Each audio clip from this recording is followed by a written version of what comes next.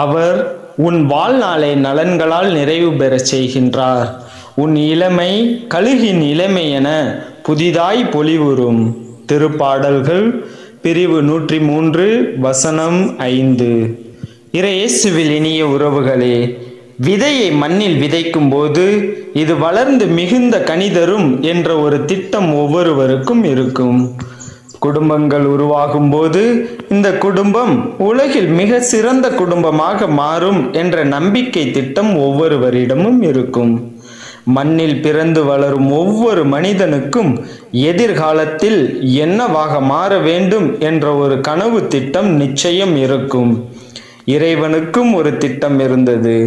அனைவரையும் ஒன்று சேர்க்க வேண்டும் என்ற திட்டமே அவரது திட்டம். அதுவே மறைபொருள்.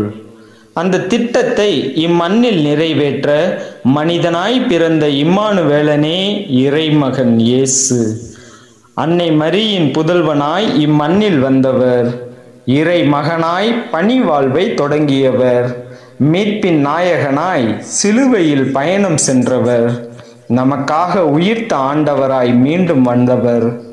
உலகெங்கும் சென்று படைப்பிற்கு எல்லாம் நற்செய்தியை பறைசாற்றுங்கள் என்றவர். தந்தை மகன் தூய ஆவியார் பெயரால் திருமுழுக்கு கொடுங்கள் என்றும் தமது திட்டத்தை வெளிப்படையாக தான் தேர்ந்து கொண்ட தம் சீடர்களுக்கு தெரிவித்தார். இயேசுவின் சீடத்துவத்தில் பங்கு பெற தன்னை எல்லா நிலைகளிலும் தகுதிப்படுத்தி கொண்ட புனித பவுல் கிறிஸ்துவின் மனநிலையை கொண்டு இறை மகனின் திட்டத்தை நமக்கு வெளிப்படுத்தினார். அந்த திட்டம் ஏதோ கனவில் உதித்த திட்டம் அல்ல. மாறாக தந்தை இறைவன் நம்மை கருவில் உதயமாக செய்யும் முன்னே உருவான திட்டம்.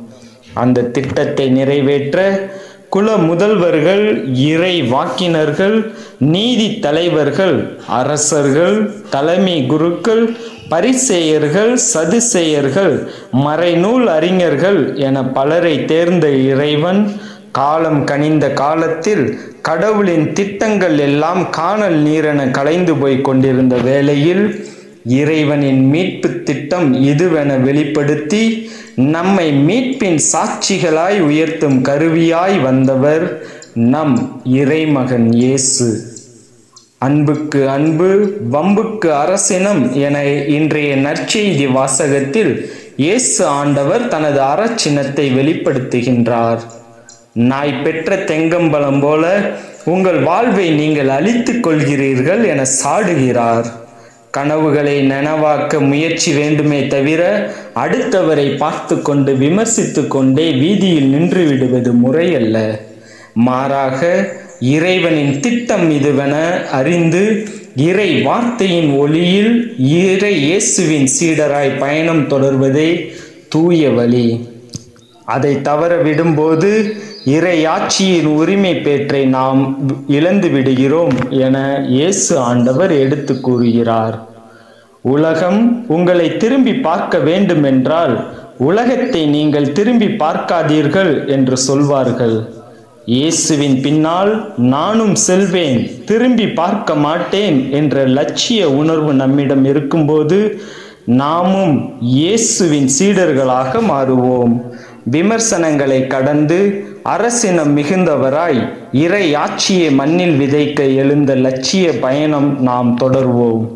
நம் ஒளி விடியல் போல் எழுவதாக வாழ்த்துக்களையும் ஜெபங்களையும் உரித்தாக்கி மகிழ்கின்றேன். ஜெபிப்போம்.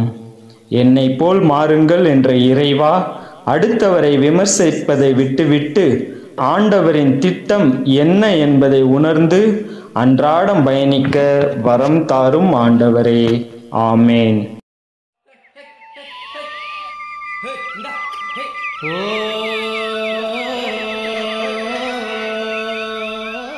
மெய்ப்பனும் செய்தி. நிறைவாக்கும் நிறைவாக்கும்